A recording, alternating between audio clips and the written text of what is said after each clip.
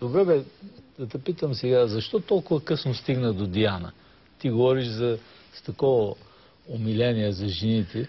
Диана е жената, която е сега до Ти теб. знаеш, че аз съм имал много гаджета, обаче по този въпрос са писали много вестници, само че това са Не били... съм виждал нито едно. Но Това ти си е- много дискретен. А, не, не, не. Дискретен не, си бил. В нея години не, беше много. Аз мога да ти по- покажа най-малко така около 50 броя, в които са ме снимали с различни момичета, с различни жени, които са коментирали моя ергенски живот, но аз не съм попадал на Ма по нея жена. години. По нея години. Ще ти кажа защо. 80, преди 89-та. Е, Много преди 80, още от 23-4 години. Не, преди 89-та година. Разбира се, че преди 89. То тогава беше малко опасно това.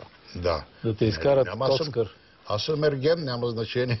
Винаги, ти хубаво казваш, че винаги съм бил свободолюбив човек и малко особен.